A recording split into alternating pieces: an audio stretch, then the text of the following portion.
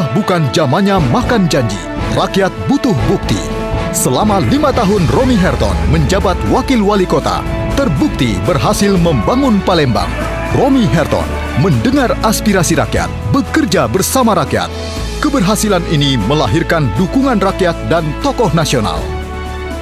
Kita bakal milih Bapak Haji Romi Herton. Lanjutkan. Nomor kita pilih Bung Romi Herton untuk melanjutkan Palembang 2013-2018. incumbent punya peluang lebih kuat untuk meneruskan apa yang sudah dikerjakan selama ini. Romi Herton sudah mampu sebagai wakil wali kota membangun kota Palembang. Pembangunan ini tidak boleh berhenti, lanjutkan.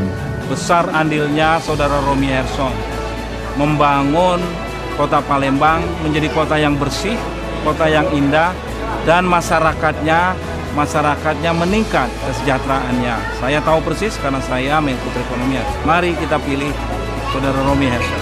Romi Herton membangun Palembang maju dan sejahtera tanpa banyak janji, memberikan bukti.